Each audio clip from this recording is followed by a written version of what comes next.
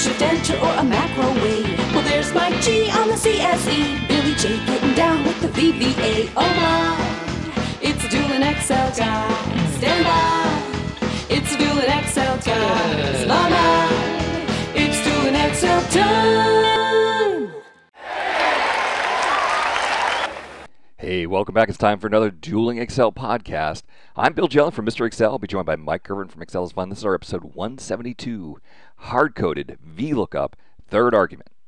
All right, so today's question Lewis from YouTube uh, has a VLOOKUP table and it is working perfectly, right? We choose the item from the list and these two VLOOKUPs get the product and the price, but occasionally, Lewis says, he has to insert a new column. Like over here, he inserted the cost column. And because this VLOOKUP is hard coded to use column 3 and column 4, we're now getting column 1, 2, 3.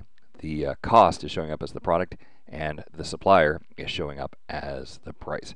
How can we avoid that whole situation? So here's what I'm going to do. Instead of hard coding the number 2 in there, or 3 in this case, to get the product, I'm going to say that I want to do a match of this heading right above me, comma, this list of headings up here. I'll press F4 to lock that down. And then comma 0. Close that. So now instead of saying, hey, it's in column 3, it will always go search and see where that particular item is. And actually, as I uh, look through this here, I'm going to uh, add a dollar sign to the A, so we're always reaching back to column A. And then we'll copy that over.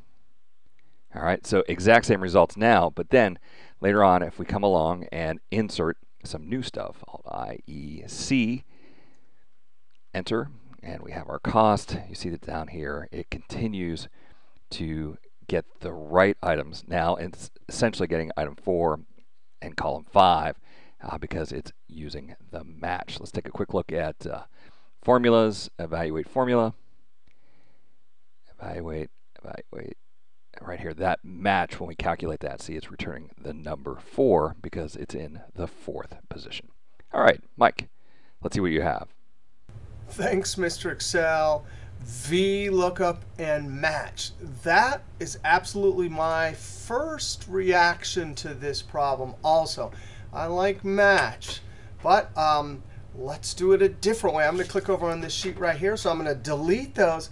Hey, and instead of VLOOKUP and match, I'm going to use a database function equals dget. Now the d, dsum, dmax, dmin, dstandard deviation, those are database functions. And dget goes and gets something. Hey, the arguments you need a database, and you have to have field names in the first row and then records in subsequent rows.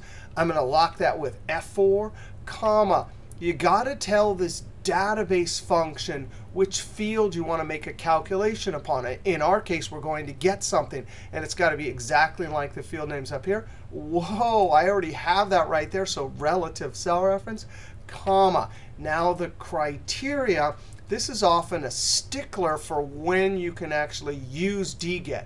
Now notice, I'm going to highlight these two cells and lock it. But it won't work because criteria requires a field name and the criteria below. Close parentheses, control Number sign enter. value. No way is it going to work. But guess what? I kind of like ID, the field name, better than lookup. So if you can do that, boom, ID. I do that.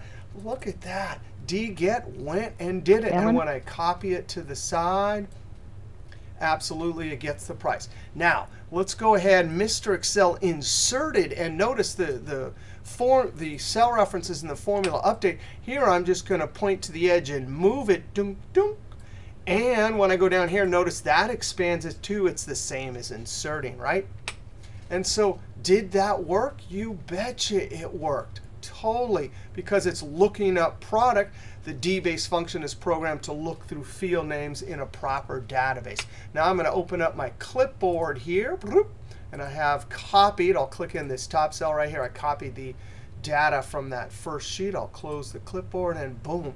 Now it updates. All right, throw it back to Mr. Excel. Hey, all right. The database function, dget, get. That is a beautiful function. I used to use that a lot back uh, before pivot tables came around, 1990s. Um, and it uses the field name. What a brilliant trick. That is an awesome, awesome way to go. Uh, point to Mike for remembering D get. All right, I want to thank everyone for stopping by. We'll see you next time for another Dueling Excel podcast from Mr. Excel and Excel is Fun. It's Dueling Excel time.